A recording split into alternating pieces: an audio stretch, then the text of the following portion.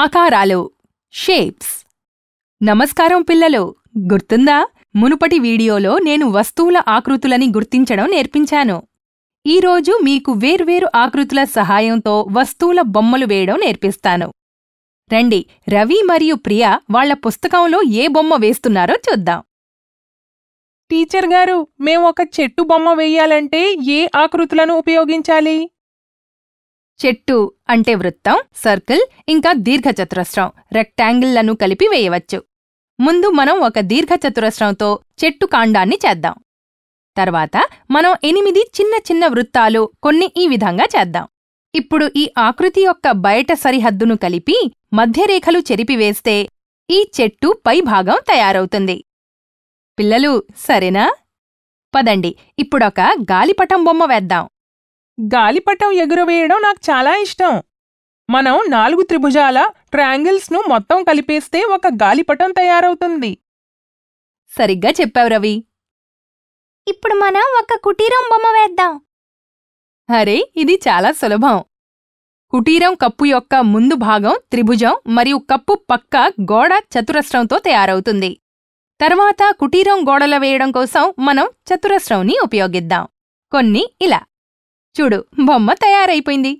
ఆ కుటీరం గోడలు దీర్ఘచతురస్రంతో కూడా తయారు చేయొచ్చు. ఇదిగో ఈ విధంగా.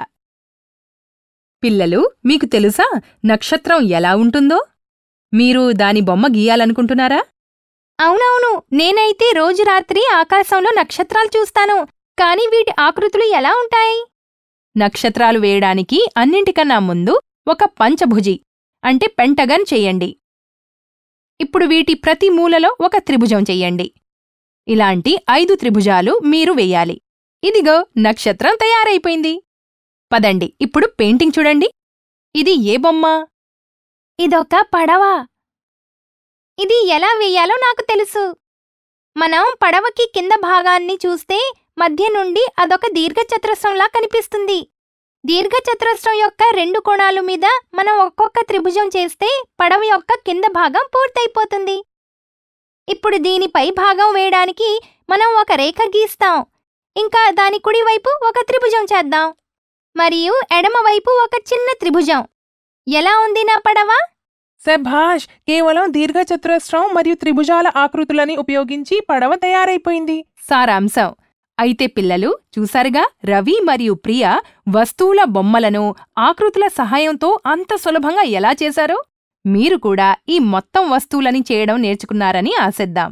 తర్వాతి వీడియోలో మనం మూడు లేదా మూడు కంటే ఎక్కువ ఆకృతులను కలుపుకొని కొన్ని ఆసక్తికరమైన వస్తువులని తయారు చేయడం నేర్చుకుందాం. ధన్యవాదాలు.